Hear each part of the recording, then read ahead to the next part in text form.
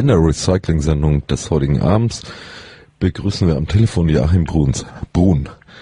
Joachim, guten Tag. Ja, hallo. Ich glaube, ich kann auch Jochen sagen, oder? Ja, doch. Das ist, glaube ich, so der, die Umgangssprache, äh, Sprache, die Hat du kennst. leider so eingebürgert. Leider. Okay. Ähm, Joachim Brun, äh, seit vielen Jahrzehnten äh, unterwegs in der Publikation linksradikaler Literatur und Texte, Vorträge antideutscher Province, wenn ich das mal so ausdrücken darf. Joachim, was sagst du dazu? Ja, also ich weiß nicht. Also erstmal heißt es nicht Provenience, sondern Provenienz, nicht? Da sehen wir schon wieder, wie die Deutschen neidisch auf die französische Hochsprache schielen, weil sie doch viele Dinge dort importieren müssen, ist aber oft, ohne es jetzt persönlich zu meinen, so recht nicht können. Und das Zweite ist eigentlich, dass ich mich als Antideutscher zwar schon irgendwie angesprochen fühle, dass ich aber doch eher darauf bestehen würde, ja, vielleicht als Linksradikaler und Kommunist bezeichnet zu werden, weil ja die Antideutschen jetzt nichts Spezielles erfunden haben, sondern nur die vernünftigerweise gebotene Konsequenz aus einem Ernstnehmen des marxischen Materialismus gezogen haben. Und dass das so verpönt ist, ist ja auch wieder ein Indiz für die chronische Aufklärungsverweigerung gerade der Linken hierzulande. Also, das ist ein, also danke fürs Kompliment, aber so richtig fühle ich mich nicht gebauchpinselt. Okay. Äh, man kann ja auch sagen, nicht vollständig wiedergegeben. Ja, das auch.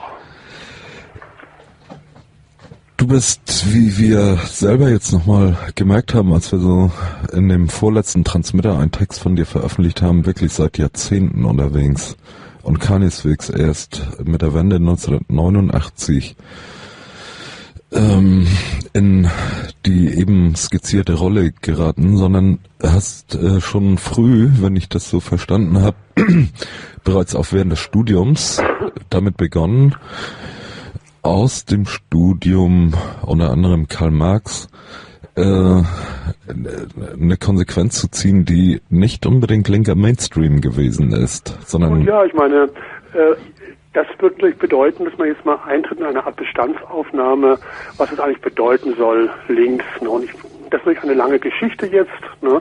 aber ich denke, am kürzesten kann man vielleicht bei der Frage beantworten, wie war das möglich, dass nach 1989 eine so lupenrein stalinistische Partei wie die SED sich rückstandslos in vulgäre Sozialdemokratie zurückverwandelt hat.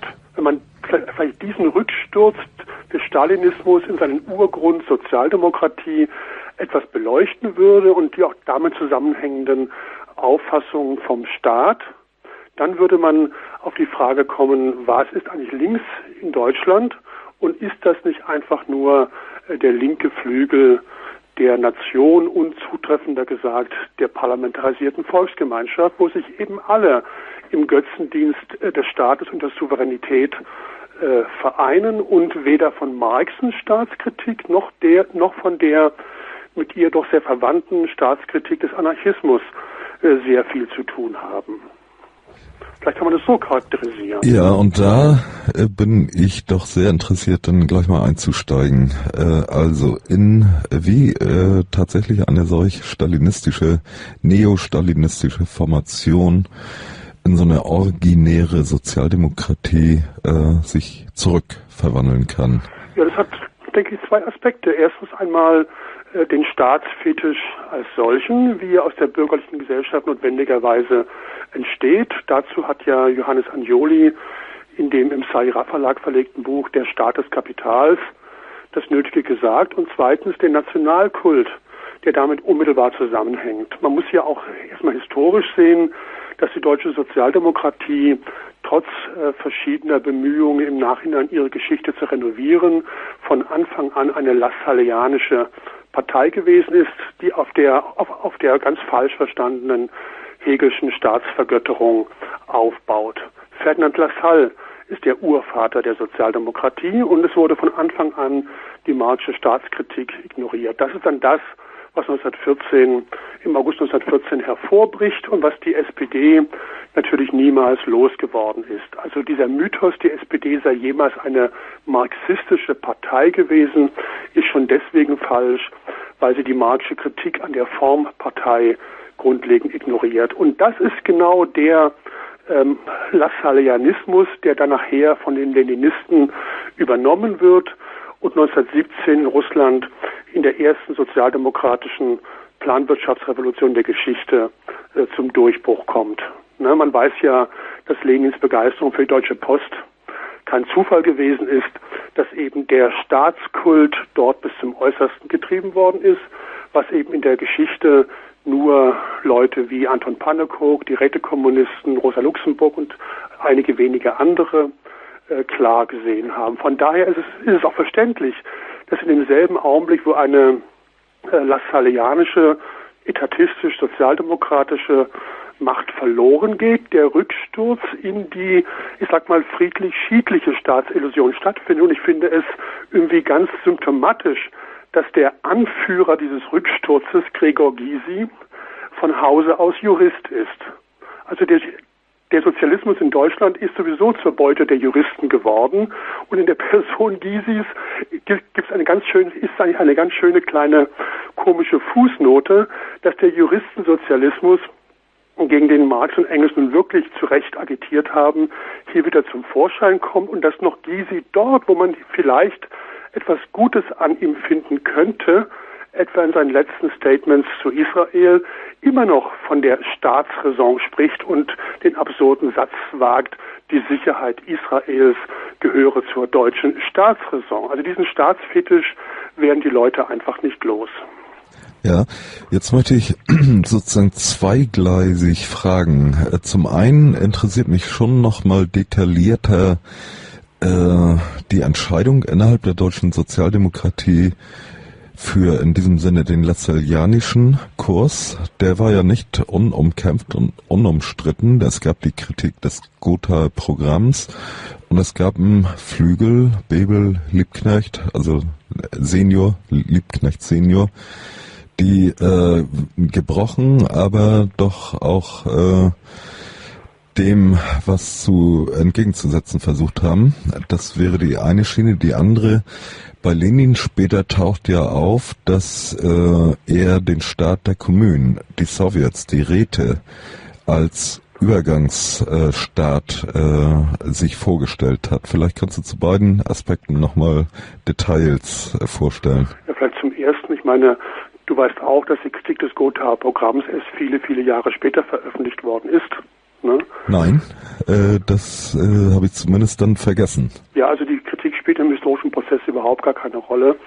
Und zweitens ist es eben so, äh, dass gewissermaßen die Lassalleaner die Lücke in der marxischen Kritik gewissermaßen ausnutzen, dass es eben äh, bei Marx nicht zu der im ursprünglichen Arbeitsplan des Kapitals vorgesehenen äh, vorgesehenen sechsten Band zur Staatskritik gekommen ist, sondern dass es eben bei Andeutungen mehr oder weniger geblieben ist. Ne? Was nun Bebel Liebknecht betrifft, das ist ja nun eher äh, der kleinbürgerlich-volksparteiliche Charakter der Sozialdemokratie, den, der in Sachsen und Thüringen ausgebrütet worden ist. Und dass diese Leute natürlich dann auch ne, an der Vorbereitung des 4. August ihre große Rolle spielen, das ist klar. Da hat man schon an das Phänomen sehr früh, was heute mit diesem politischen Amokläufer Jürgen Elsässer ausgedrückt worden ist. Es ist vielleicht vergessen worden, dass zu den größten sozialdemokratischen Kriegsbefürwortern 1418 ehemalige enge Genossen von Rosa Luxemburg gehört haben, etwa der sozialdemokratische Reichstagsabgeordnete Paul Lensch, der vor 1914 ein entschiedener Anhänger Luxemburgs war und dann anfängt, die Ideen von 1914 hochzujubeln und vom Welt und vom Weltkrieg als Weltrevolution zu sprechen. Das ist das eine, also dieses Grenzgängerphänomen, dieses Amoklaufphänomen, wo man nie weiß, ist es Dummheit oder Geltungssucht. Beim Elsässer wahrscheinlich beides. Das prägt die Sozialdemokratie doch zutiefst und ich will jetzt nicht, ich will jetzt schweigen von Gestalten wie Gustav Noske, Kurt Schumacher und den anderen. Was nun Lenin betrifft, denke ich, dass natürlich diese Formulierung der Sowjets nie mehr war als eine billige Agitationsparole.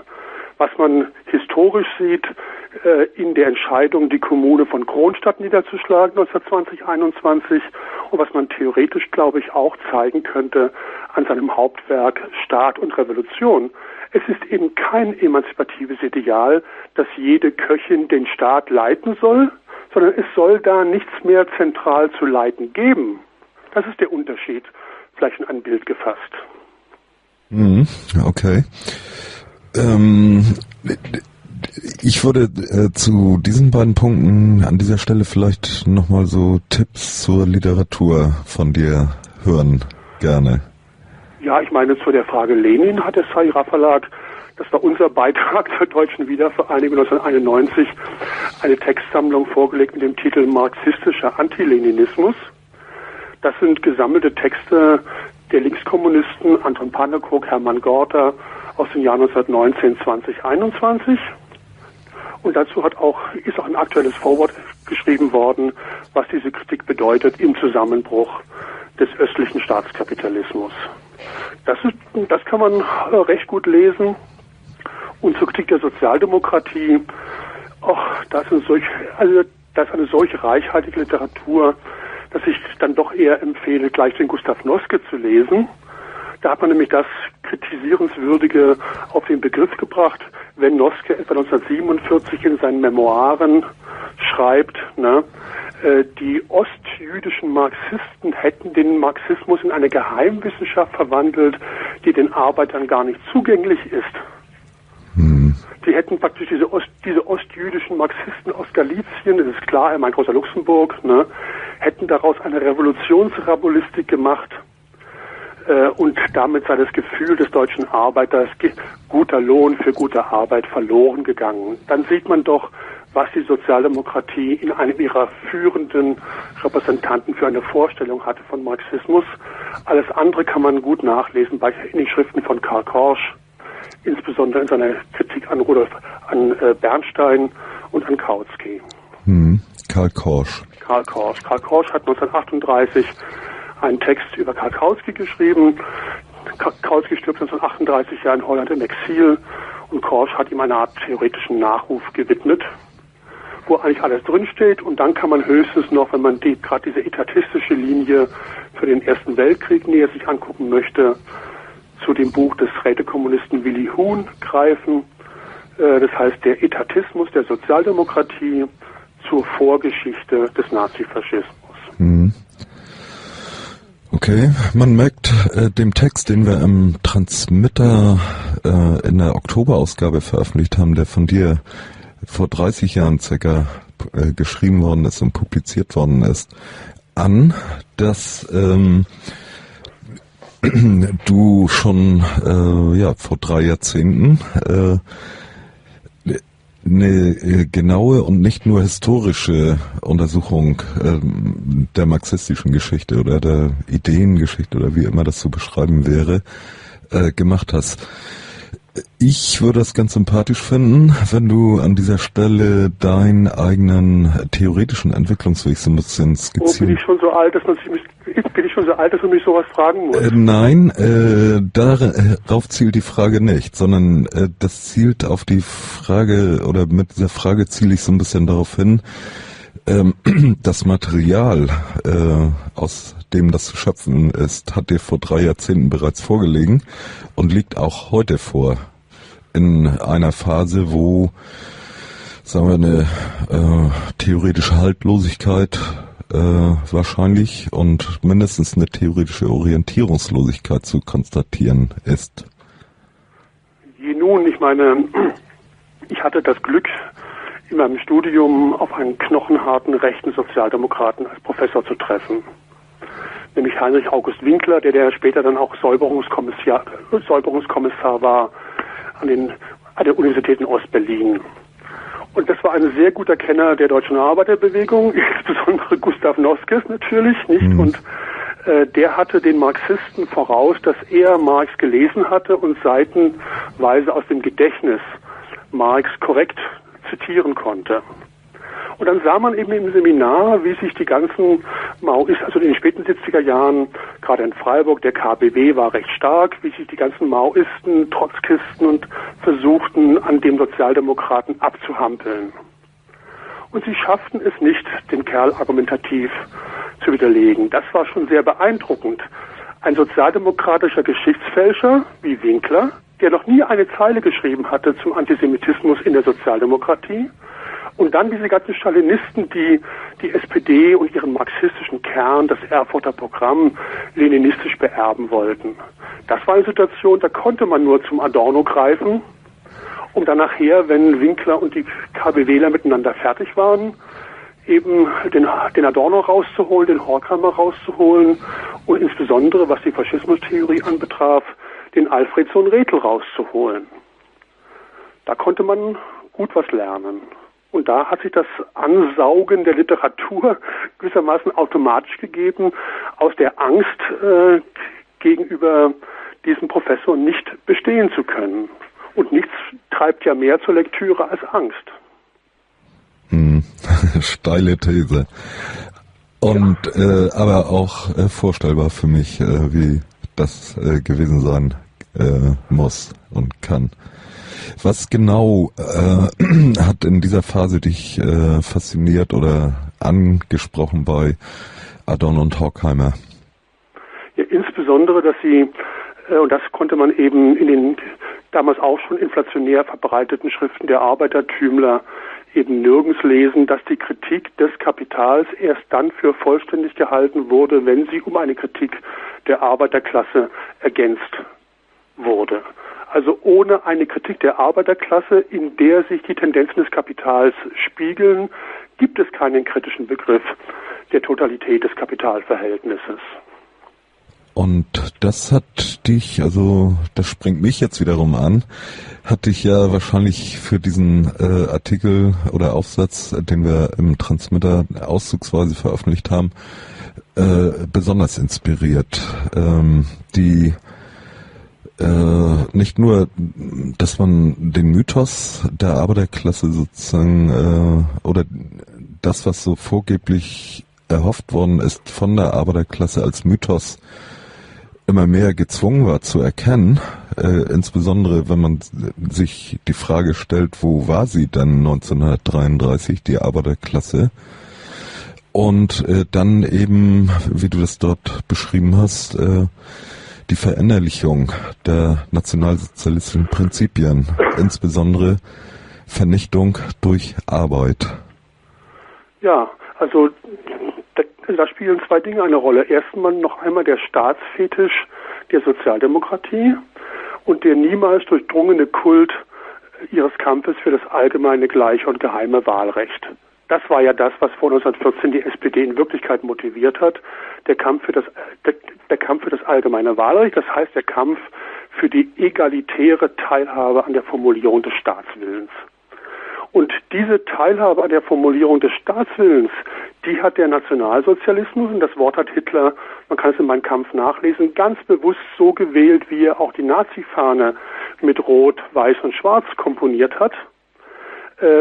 Dieses Bedürfnis hat der Nazifaschismus direkt angesprochen. Damit war die Arbeiterbewegung politisch, theoretisch und auch sozial äh, liquidiert. Da konnte dann die deutsche Arbeitsfront äh, zum legitime und von den Arbeitern auch als dieser legitime Erbe anerkannte äh, Ausdruck dessen werden, wofür sich die Gewerkschaftsbewegung unter der Fahne von Gleichberechtigung von Kapital und Arbeit, Wirtschaftsdemokratie, vielleicht noch als Fußnote, diese berühmte Wirtschaftsdemokratie, die ja bis heute von Elmar Altvater und anderen bei Attac gerne wieder aufgewärmt wird, brachte es in Weimar immerhin zur paritätischen Besetzung des Reichsgefrierfleischausschusses. Also ein glänzender Fortschritt der proletarischen Bemühungen um Gleichheit von Arbeit und Kapital. Und in diese, in diese Situation hat es der Faschismus geschafft, man könnte sagen, in einer Bewegung des doppelten Bonapartismus, äh, die Arbeiterparteien zu zerschlagen, aber zugleich den Inhalt der Arbeiterbewegung, das ominöse Recht auf Arbeit, sich anzueignen und zu, ko und zu äh, kooptieren. Also eine Situation, wie sie August Thalheimer im historischen Prozess 1930 beschrieben hat, im Verhältnis von Faschismus und bürgerlicher Klasse und bürgerlichen Parteien in Analogie zu den marxischen Analysen der 1850er Jahre in Frankreich, wo gesagt wird, Napoleon der dritte Bonaparte zerschlägt zwar die bürgerlichen Parteien, aber nur um das Kapitalinteresse umso reiner zu formulieren. Also eine dialektische Bewegung. Und dieser dialektischen Bewegung ist der Traditionsmarxismus, man lese nur den schaurigen Georg Dimitrov, niemals inne geworden. Und weil sie dem nie inne geworden sind, hat dann der spätgeborene Antifaschismus gewissermaßen zur höheren Beweihräucherung der wunderbaren Geschichtsbewältigung Deutschlands beigetragen. So gesehen ist dieses berühmte Manifest von Buchenwald 45 auch nur ein Beitrag zur Geschichtsklitterung. Darauf wollte ich, den, wollte ich in dem Artikel den Finger gelegt haben. Hm, und äh, du hast eindrucksvoll auch dargelegt, wie darin die Überlebenden äh, wiederum zum Opfer gemacht werden, wenn ihr Leiden so stilisiert wird äh, als Instrument einer solchen Auseinandersetzung. Das ist eben den deutschen Linken in keiner Weise auszutreiben, der Versuch der Sinnstiftung am Opfer.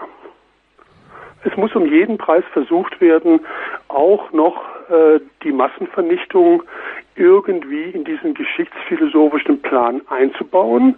Da das nicht zurecht gehen will, weil sie die Sache selber dagegen sperrt, ne, wird es entweder verdrängt, abgespalten und vergessen oder es wird sekundär über diese Widerstandsgeschichte äh, eingeholt.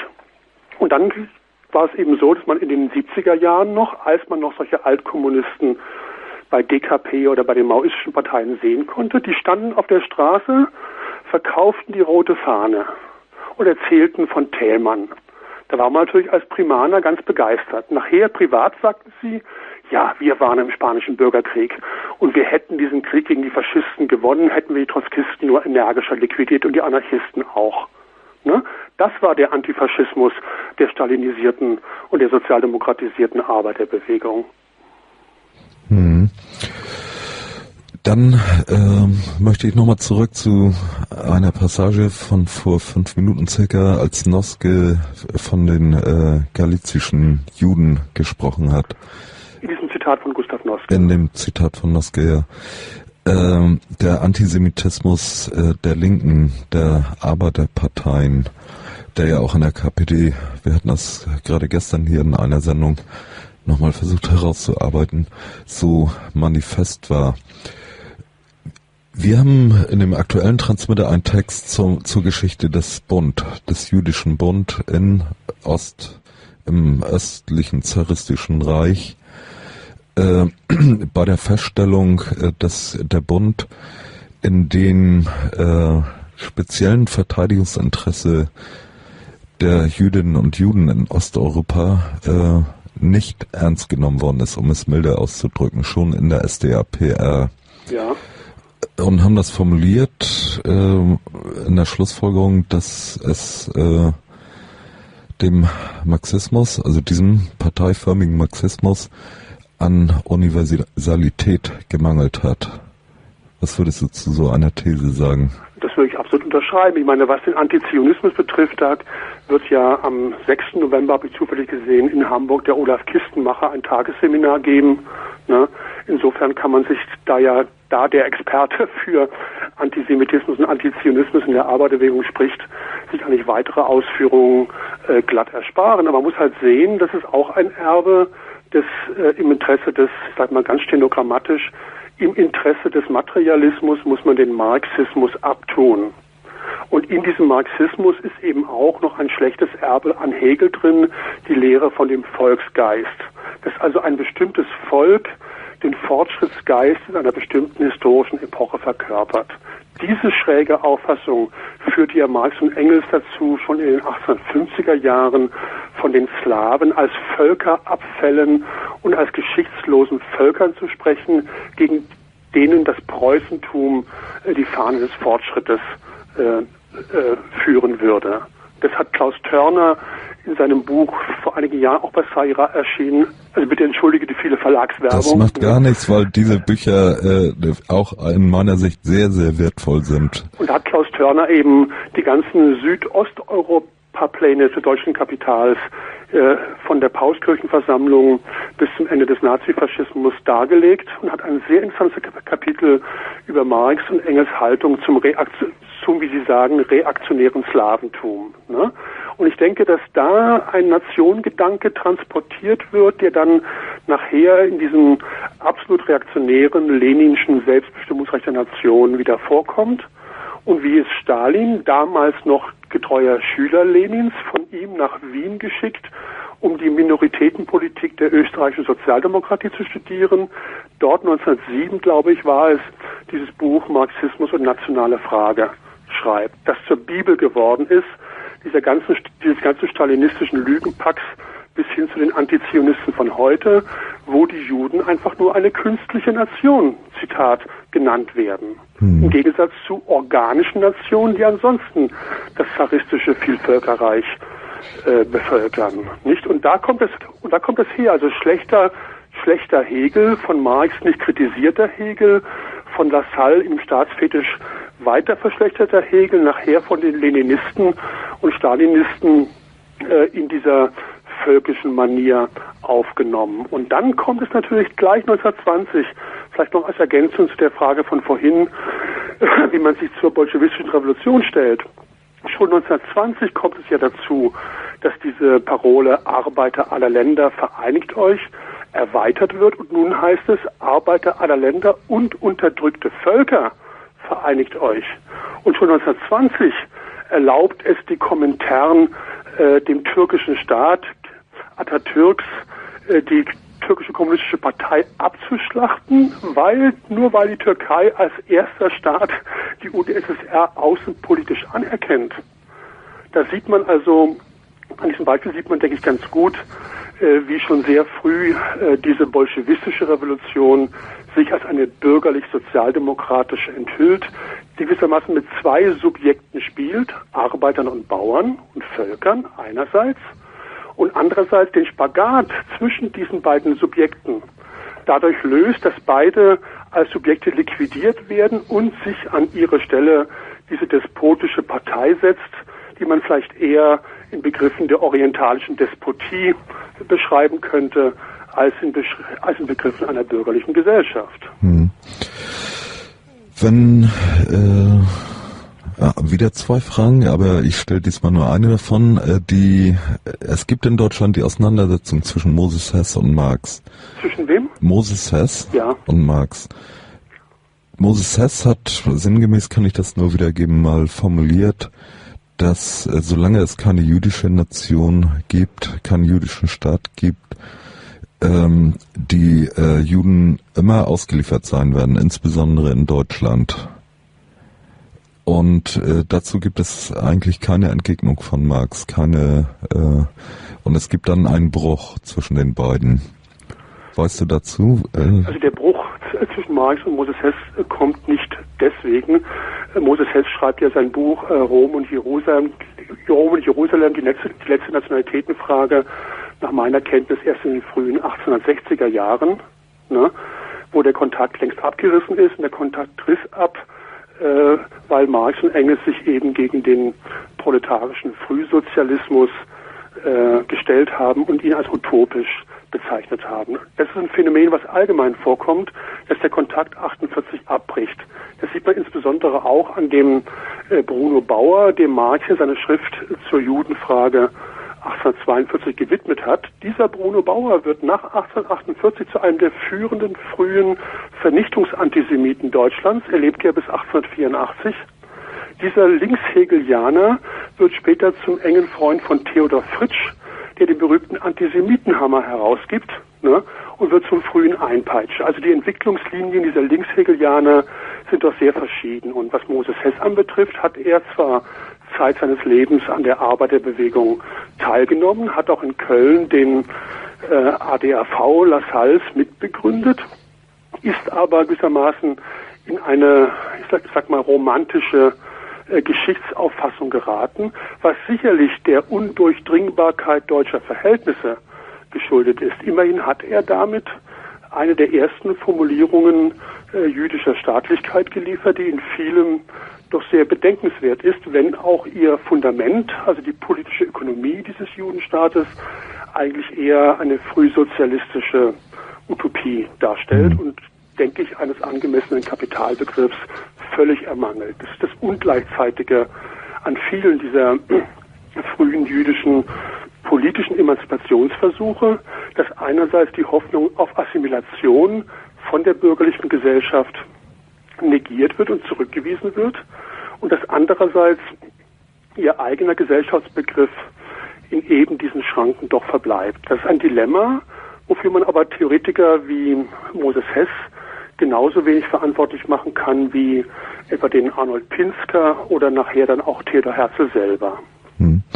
Ich habe äh, das äh, oder erinnere mich äh, periodisch immer wieder daran, weil es in dem Silberner Buch ähm, ein Hinweis darauf gibt, dass Moses Hess die Vernichtung der Juden äh, geahnt hat, viele Jahre, 50 Jahre vorher, dass äh, ihm das als Möglichkeit äh, bedrängt hat. Äh, und was äh, da, als ich diese Stellen gelesen habe, mich dann immer wieder äh, äh, ja, umgetrieben hat, die Frage, Warum sind das so wenige, die diese Voraussicht besessen haben? Oder warum umgekehrt der Marxismus oder die Arbeiterinnenparteien ähm, diese Sensibilität, wenn sie sie schon nicht selber besessen haben, äh, dann doch zumindest so weit an den Tag gelegt haben, dass sie ähm, das Denken dieser Menschen aufgenommen haben? Das ist die schwierigste Frage nur überhaupt. Also jetzt diese Bemerkung von Moses Hess kenne ich nicht. Vielleicht kannst du mir mal gelegentlich nachweisen, wo ich das nachlesen kann. Ich äh, ja. meine mich zu erinnern, in diesem Edmund Silberner ja. Band äh, zur, zu, zur Geschichte des Antisemitismus. Ich habe es aber leider jetzt auch gerade nicht äh, ganz... Ich könnte mir vorstellen, dass der Moses Hess das in der kritischen Wendung schreibt gegen diesen französischen Frühsozialisten und Anarchismusbegründer Pierre-Joseph Proudhon. Weil das ist nach meiner Kenntnis der erste und auch der erste Sozialist, ne, der klipp und klar sagt, die Abschaffung des Kapitalverhältnisses. Er meint aber darunter nur, dass man endlich ein gutes Geld haben muss ohne Zins, dass diese Befreiung des Geldes vom Zins nur durch die Vernichtung der europäischen Juden hindurch geschehen kann. Das ist ein in der, in der Anarchismusgeschichte auch sorgsam beschwiegenes Kapitel, mindestens ebenso sorgsam beschwiegen wie der Antisemitismus von Bakunin selber. Und das andere ist, denke ich, dass man, dass gewissermaßen die Sozialisten und Marxisten darauf äh, trainiert waren, die Negativität des Kapitalfortschritts äh, zu übersehen, indem sie eben, und das ist, denke ich, das frühsozialistische Erbe in Marx, was dann bis zum Leninismus sich durchhält, indem sie eben das Kapital fälschlicherweise begreifen als eine Art entfremdete Selbstdarstellung der Arbeitskraft oder der gesellschaftlichen Arbeit. Das heißt also, das Kapital kann tun, was es will. Es ist als List der Vernunft dieser Selbstentfaltung der Arbeitskraft immer trotz aller Leiden, die es verursacht, hier Marx ja auch ein Kapital drastisch beschreibt analysiert, äh, trotz all dieser Leiden, die es verursacht, ist es in letzter Instanz, auch so ein magisch-marxistisches Wort, ist es in letzter Instanz doch eindeutig mit historischem Fortschritt und Vorbereitung des Sozialismus als Totalvergesellschaftung der Arbeit konnotiert. Und deswegen muss der Antisemitismus chronisch abgespalten werden. Und eine Abspaltung, die nachher dann sehr populär geworden ist, war ja Bebels Formulierung vom Sozialismus der dummen Kerle, wo der Antisemitismus dem vom Kapital angeblich äh, dem Verschwinden zugeführten Kleinbürgertum als eine Notwehrideologie gegen das Kapital zugeschrieben wird. Das sind alles Mechanismen, wo man um jeden Preis versucht, die Positivität des kapitalen Fortschrittes äh, zu behaupten. Vielleicht kann man theoretische, also den, den theoretischen Grund äh, in dieser, in diesem Blick, in diesem fetischistischen Blick auf das Kapitalverhältnis fassen. Hm. Ja, krass. Ähm. Das ist ja auch eine Sichtweise, äh, die dann letztendlich erst durch die äh, Studien von Moshe Postone, äh, dessen These auch sehr, sehr viele Mängel hat, unter anderem auch die vollkommene Ausklammerung der Staatsfrage. Aber im Prinzip hat Postone zum ersten Mal ökonomiekritisch fundiert, was die kritische Theorie über den Antisemitismus ja immer schon ins Zentrum gestellt hatte. Etwa, wenn es bei Adorno heißt, der Antisemitismus ist nichts der bürgerlichen Gesellschaft Äußerliches. Sie gehört, er gehört unmittelbar zum Kern. Und Faschismus sei nichts anderes als der Umschlag äh, der Gesellschaft der Freien, der Gesellschaft der Freien und Gleichen in das Unrecht durch die Gleichen. Also er hat diese Dialektik der repressiven Vergleichung, die im Kapitalverhältnis angelegt ist, äh, als, als im Kern antisemitisch und rassistisch denunziert und kritisiert. Und das ist ein Verständnis, was dem klassischen Marxismus, der längst zur Ideologie der Konterrevolution von links geworden ist, natürlich systematisch fremd ist, umso mehr, als er die Versuche, sich das Kapital von Marx heute anzueignen, nur von Sozialdemokraten geleitet werden, etwa von dieser famosen Das Kapital Lesebewegung, die diese PDS-Studentenvereinigung SDS angedreht hat, wo dann führende Marx-Verunstalter wie Wolfgang Fritz Haug oder Elmar Altvater, die seit 40 Jahren hier das Meinungsklima zu Marx bestimmen, äh, unmittelbar als Tutoren und Anleiter auftreten. Da werden aber nur wissenschaftliche Hilfskräfte für die Parlamentsfraktion der Linkspartei herangezüchtet. Hm. War hier in Hamburg jüngst auf einer Veranstaltung auch zu besichtigen. Ähm, damit sind wir vielleicht äh, 1989 folgende angekommen. Äh, man könnte ja meinen, dass äh, solche Arbeiten, wie du sie in den Jahren davor bereits und dann in den 90er Jahren ähm, äh, geleistet haben und vorgelegt haben, für ein solides theoretisches Rüstzeug äh, der Linken nach 1989 hätten sorgen können. Warum ist dem nicht so? Ja, wahrscheinlich deswegen, weil sie, als, weil sie es als theoretisches Rüstzeug begriffen haben. Also man wollte ja in der Perspektive Adornos keinen äh, Werkzeugkasten für jedermann bereitlegen, gerade auch nicht für Akademiker, aus dem man sich nach irgendwelchen Zwecken bedient. Mhm. Also ich denke, ich denke, was die jetzt hier in, der, in, der, in deinem Statement so, was du eben gesagt hast mit dem theoretischen Rüstzeug, ne? mhm. ne? ist denn überhaupt der Marxismus eine Theorie? Oder haben nicht vielmehr die linken Intellektuellen ihn zu einer, ihn zu einer Theorie gemacht, weil sie partout nicht mit seinem Charakter als einer subversiven äh, Kritik leben können und leben wollen. Hm. Weil sie vielmehr ein Interesse daran haben, Diskurse zu basteln, ne? ein Interesse daran haben, die Spaltung von geistiger und körperlicher Arbeit äh, um jeden Preis durchzuziehen. Meine, es war ja so, die ML-Gruppen der 70er Jahren, das waren alles Studenten mit, mit der Hoffnung, äh, Bürokraten zu werden in einer sozialistischen Planwirtschaft. Der ML war immer ein Angebot äh, für linksbürgerliche Intellektuelle, ihre Privilegien, insbesondere die Spaltung der geistigen von der körperlichen Arbeit zu retten und fortzusetzen. Hm. Insofern denke ich, dass man, dass schon diese verdinglichte Sprache vom theoretischen Instrumentarium, ich habe neulich einen Aufsatz gelesen zum Verhältnis von Foucault und Adorno, wo sich die Autorin wirklich schon der Überschrift enttarnt hat. Sie meinte, Adorno und Foucault eine an sich unmögliche Begriffskombination, die doch einmal versucht werden soll. Also Begriffe sind Lego-Bausteine für diese Leute, ne, mhm. mit denen sie eben akademische Konstrukte zusammenbasteln.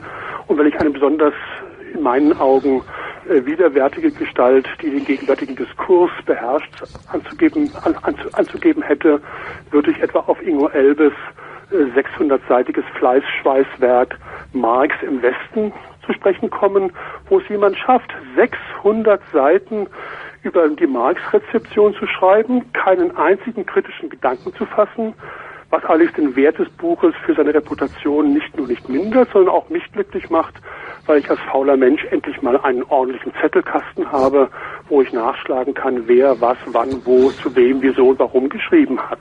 Ne? Also das, das ist diese intellektuellen Ideologie, dass die Begriffe nicht an sich eine Wahrheit oder Unwahrheit ausdrücken, sondern dass es Instrumente sind, die man in Begriffskombinationen Lego-Baustein-Kastenartig kombinieren kann.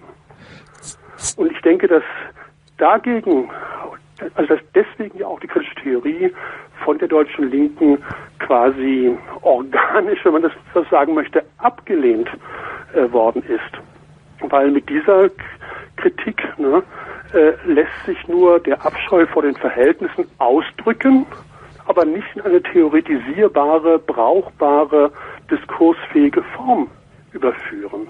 Insofern ist es kein Wunder, vielleicht noch als Nebenbemerkung, dass in den frühen 70er Jahren in, der DK, in DKP-Verlagen eine große Masse von aus der DDR importierten Schriften gegen die kritische Theorie erschienen sind, die alle einen leicht, einen mühselig verborgenen antisemitischen Unterton haben. Das müsste man auch mal genauer untersuchen. Hm. Okay. Ich äh, war gerade geneigt, so als es äh, wahrscheinlich auch zu dir durchgedrungen ist, äh, zu sagen, das wiederhole ich dann jetzt nochmal, Zettelkästen scheinen ohnehin das äh, Instrumentarien, Instrumentarium einer, einer, eines bestimmten Umgangs mit Theorie, wie du ihn beschrieben hast, zu sein. Ja, ich meine, Zettelkästen. Was, was sagt es über die Gegenwart aus und über den Zustand dieser Gegenwart, wenn man den kategorischen Imperativ, alle Verhältnisse umzuschmeißen, äh, unter denen der Mensch ein entrechtetes und verlassenes Wesen ist, wenn man diesen kategorischen Imperativ, der doch eine Evidenz von Vernunft schlechthin ist, erst noch hunderte von Seiten hindurch begründen muss. Der Auslöser dieses Begründungszwangs wird aber von den Akademikern systematisch nicht reflektiert. Ich will mal ein Beispiel geben, wie das funktioniert. Wir alle kennen und lieben Joachim Hirsch für seine unermesslichen Bemühungen, den Begriff des Fordismus in die Öffentlichkeit zu prügeln und, daraus eine Gegenwartstheorie äh, zu basteln. In keiner einzigen von den vielen Büchern, wo Hirsch diesen Fordismusbegriff breit trampelt, findet sich auch nur die geringste Erwähnung dessen, dass Henry Ford der erste war, der in Amerika in großen Auflagen in englische Übersetzung die Protokolle der Weisen von Zion vertrieben hat. Jeder, der einen der berühmten Tin Lizzies kaufte, bekam die Protokolle der Weisen von Zion gratis dazu. Keine Zeile davon, dass das Bild von Henry Ford auf dem Schreibtisch von Adolf Hitler stand. Keine Zeile dazu, dass Henry Ford es war, der das Braune Haus in München der NSDAP finanziert hat. Also schon, äh, man merkt schon, wie diese deutschen Akademiker die Geschichte äh, zu, zu fälschen gezwungen sind, um ihren Zettelkasten überhaupt anzulegen und äh, die deutsche Geschichte äh, vergessen zu machen, be beziehungsweise zur Fußnote zu machen. Genauer gesagt, ist den Historikern zu überlassen. Und jeder weiß, wenn er auch sonst nichts weiß, dass Historiker die denkbar ungeeignetsten Individuen sind, einen Begriff von Geschichte zu erarbeiten. Hm. Und ja, also das mir Joachim Hirsch, also Sinnbild dieser, man könnte fast schon sagen, Seinsverfehlung, aber Gesellschaftszweckerfüllung des deutschen Marxismus. Ja, äh, ich versuche gerade mir das so vorzustellen. Da ist so der große äh, Zettelkasten Marxismus-Leninismus. Dann kommen äh, so ein paar das hinterfragende äh, Momente, die einen zum Nachdenken bringen und dann springt einen an, dass es da ja auch noch einen Gramsci gab. Ähm, es wird ein paralleler Zettelkasten angelegt, äh, wo die Grams Gramsci-Zitate drinne äh, zunächst gestapelt werden, die ja vom Fordismus als Fortschritt äh, sprechen. Es äh, unter den Zettelkästen ist so quasi die plane Ebene des Fortschrittsbegriffs des äh, marxistisch-leninistischen und auch sozialdemokratischen äh, Fortschrittsdenkens und äh, mit diesem zweiten Zettelkasten, der sich so allmählich füllt, wird dann diese Spur aufgemacht. Ja, aber man fälscht ja schon den Gramsci oder man übernimmt ja schon die Fälschung von Gramsci. Ne? Es ist klar, dass also die Fordismus-These beruht, beruht ja auf diesem berühmten Aufsatz von Antonio Gramsci von 1922 über Amerikanismus und Fordismus. Das beuten sie ja alle aus. Mhm. Aber schon Gramsci selber hatte ja keine einzige Zeile geschrieben zum Henry Fordschen Judenhass. Mhm. Na, also es, es ist einfach eine, obwohl man könnte jetzt sagen, ja, die Zeit, die Zeit, wusste man das. Ja, man wusste das ganz genau. Ein deutscher Kommunist, Genosse von Rosa Luxemburg, Jakob Walcher, schreibt 1921 ein Buch, das heißt Marx oder Ford. Mhm. Wobei ich noch wissen müsste, dass der Fordismus damals auch in der deutschen Gewerkschaftsbewegung äußerst populär war.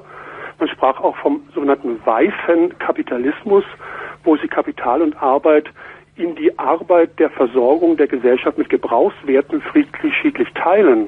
Mhm. Das war eine mhm. Ideologie und es gibt auch entsprechende Literatur aus sozialdemokratischen Gewerkschaftskreisen. Mhm. Also Gramsci selber macht schon diesen, ich sag mal in Anführungszeichen, vermeidbaren Fehler, den andere kritische Kommunisten der späteren August Thalheimer Richtung keineswegs machen.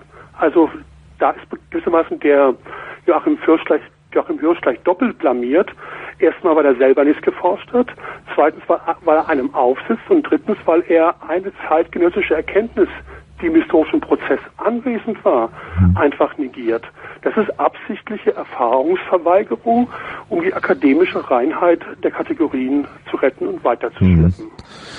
Und äh, zu diesem Moment, das bei Gramsci, als er das entwickelt, äh, der Antisemitismus nicht auftaucht, äh, kann man dann wieder zurückgehen. Das, was wir vorhin hatten, nämlich dieses äh, Übersehen oder nicht wahrnehmen, diese fehlende Sensibilität in der Arbeiterinnenbewegung dem Antisemitismus gegenüber.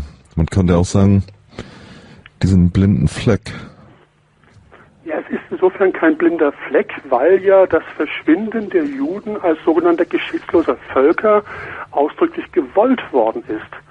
Damit meine ich nicht, dass Karl Kautsky in seinem berühmten Buch 1907 Rasse und Judentum, hieß das Buch übrigens, ne, von einem Exterminismus spricht. Aber die Juden sind mit hegelischen Ausdrücken eine faule Existenz, die als künstliche Nation vom Geschichtsprozess gewissermaßen hinweg rationalisiert werden müssen. Ja, aber ja? Also es ist kein blinder Fleck, es ist ein Verschwinden machen wollen. Ja. Hier bei den Sozialdemokraten ein Verschwinden machen wollen, dass man dem Kapitalprozess als Fortschritt gnädig überantwortet. Mhm. Kein Exterminismus, aber immerhin ein Verschwinden machen wollen, das auch systematisch unfähig ist, dem Exterminismus irgendwie zu widerstehen zu wollen. Mhm. Ja. Äh Fleck scheint mir zu wenig zu sein. Ja, äh, ich sehe, aber es bleibt so ein bisschen noch dieses Moment, es gab Pogrome gegen Juden. Und zwar Pogrome mit manchmal Hunderten von Toten. Und äh, das ist ja nicht verschwiegen worden und da hat es schon auch Äußerungen gegeben. Warum ist das als äh, wesentliches Moment eines äh, kapitalistischen Modernisierungsprozesses äh, so äh, äh, übersehen worden. Oder eben, man muss dann doch sagen, verleugnet worden. Rosa Luxemburg hat Artikel über, etwa über das Massaker von Kishinev äh, geschrieben. Hm. Aber ich will nicht wissen, wie viele führende Sozialdemokraten äh, in der Art Gustav Noskes gedacht haben, dass hier eine galizische Jüdin aus ja. eigenem Interesse spricht und darum als Marxistin gar nicht ernst zu nehmen ist. Ja. Das entzieht sich also der Kenntnis. Ich kann nur darauf verweisen, dass eben in den Arbeiten von Olaf Kistenmacher, teilweise auch von Edmund Silberner und anderer, ne, mhm. das Material breit dargelegt wird, wenn auch gerade bei Silberner doch ziemlich begriffslos. Mhm. Aber das Material ist vorhanden. Ich denke, dass mit dem blinden Fleck, das unterstellt unzulässigerweise eine organische Sehbehinderung. Mhm. Aber diese, aber diese Fixierung auf den Kapitalfetisch, und die blendende Macht, die von ihm ausgeht, ist eine selbstgewählte, eine selbstgewählte äh, Verblendung. Ne? Marx ist in der Frage ja auch keineswegs eindeutig. Einerseits sagt er, das Kapital ist progressiv, weil es als Produktion um der Produktion willen die Menschheit wider Willen an die Schwelle des Kommunismus führt. Das ist der Marx, den dann die Sozialdemokraten und Leninisten beerbt haben. Mhm. Dann gibt es aber auch den Marx, und das ist der naja, obwohl mir die Rede nicht so gut gefällt, ich es doch mal, der wertkritische Marx, ne, der sagt, ne, äh, Produktion und der Produktion willen heißt vor allen Dingen Produktion unendlichen Leidens, unendlicher Opfer.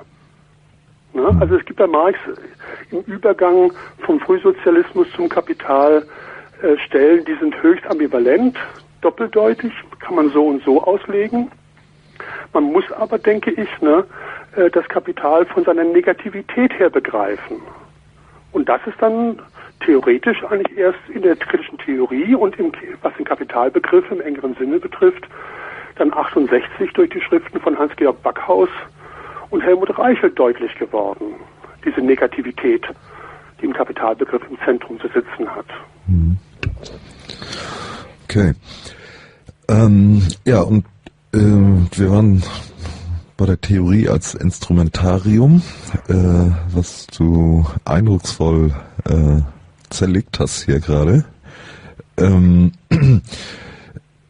bleibt die Frage äh, nochmal anders formuliert, wo bleibt denn die Praxis der Kritik äh, in, im Jahre 2010? ähm, du meinst jetzt ausdrücklich nicht die Praxis der Theorie?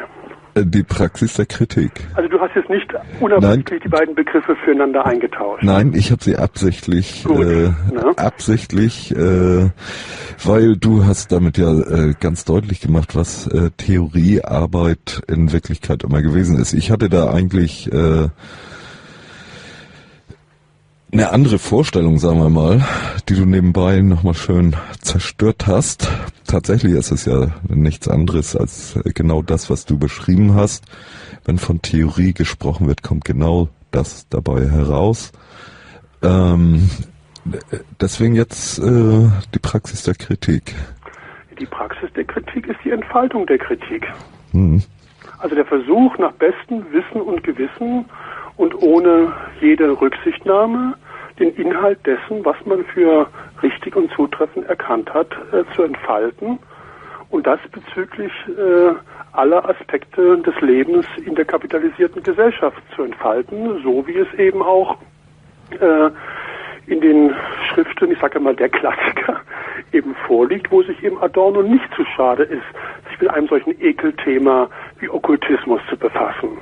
Mhm und wo es auch unser einem nicht zu schade sein darf, sich mit solchen Ekelthemen wie, wie Homöopathie, Anthroposophie, Kraft der Steine und diesem ganzen Kleinbürgerspiritismus, der in weite Kreise der Linken bis hin zum Veganertum um sich gegriffen hat. Ne? Diese ganzen Ekelthemen, ne, die man doch gerne vermeiden möchte, muss man eben aufgreifen und muss versuchen, die Kritik darin zu entfalten, ohne taktische Rücksichten, Rücksichten auf mögliche Bündnispartner, auf die Plausibilität, auf das Vorverständnis des Publikums und was die anderen Phrasen sind, mit denen sich Akademiker gerne entschuldigen. Ja.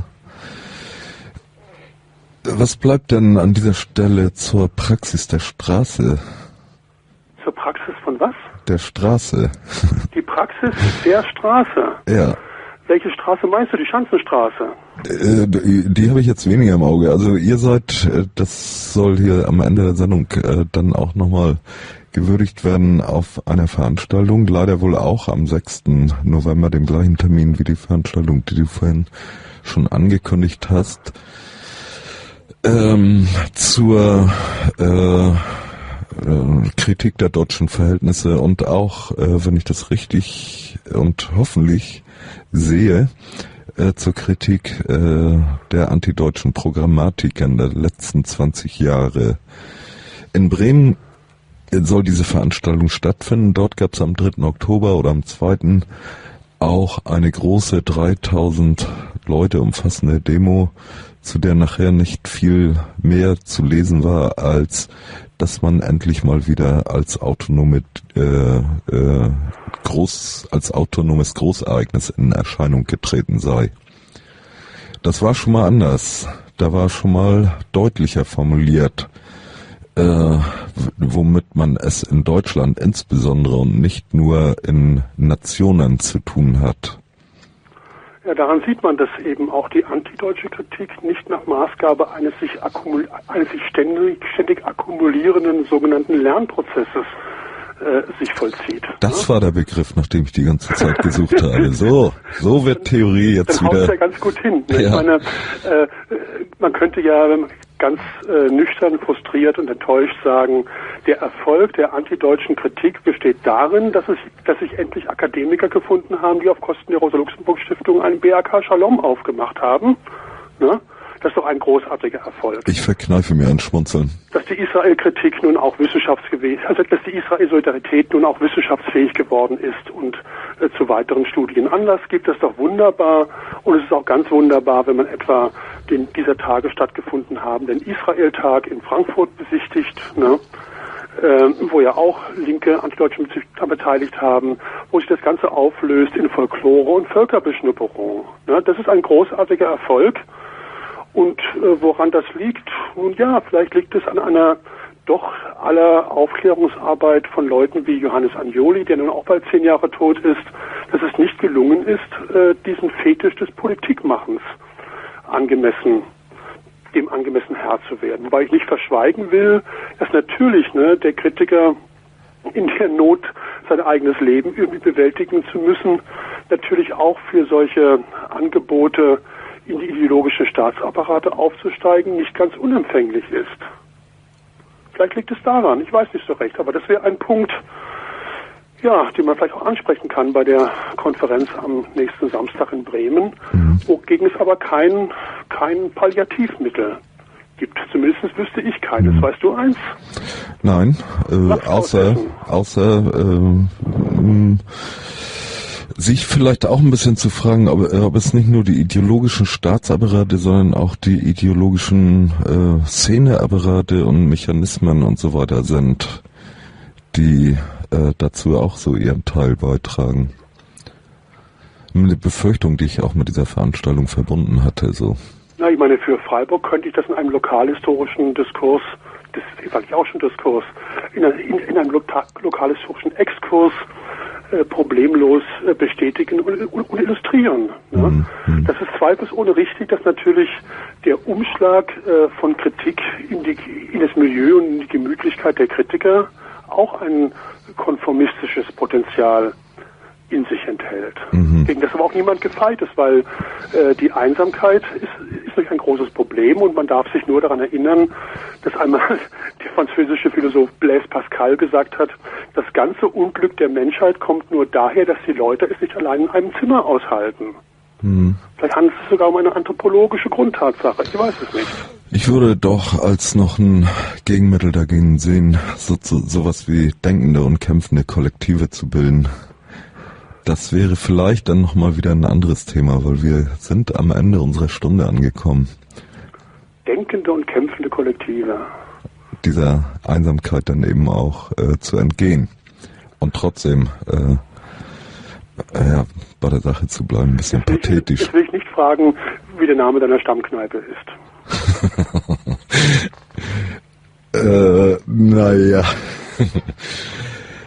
ähm, Joachim Brun, vielen Dank für diese Stunde. Ja, gern geschehen. Ich hoffe, das wirkt jetzt nicht abgewürgt. Nein, überhaupt nicht. Dankeschön. In der Recycling-Sendung des heutigen Abends sprachen wir mit Joachim Brun vom Saira Verlag und möchten bei dieser Gelegenheit darauf hinweisen, dass Joachim Brun am 6. November am kommenden Wochenende in Bremen spricht. Und wir wollen auch noch verweisen auf eine Vorankündigung beim Saira Verlag. Im Dezember wird dort erscheinen ein Buch von Jan Gerber, Nie wieder Deutschland, die Linke im Zusammenbruch des realen Sozialismus. Vorankündigung mit folgendem Text, Nie wieder Deutschland. Unter diesem Motto mobilisierte die außerparlamentarische Linke im Mai 1990 nahezu strömungsübergreifend auf den Frankfurter Opernplatz, um gegen die Wiedervereinigung zu demonstrieren. Als wenige Monate später der zweite Golfkrieg begann, war diese ungewohnte Harmonie vorbei. Eine Minderheit solidarisierte sich unter Verweis auf die Bedrohung Israels durch irakische Scud-Raketen mit den alliierten Truppen am Golf. Die Mehrheit versuchte die Gewissheiten, die sie durch den Untergang des Ostblocks verloren hatte, durch die Parteinahme für das Baath Regime zu retten.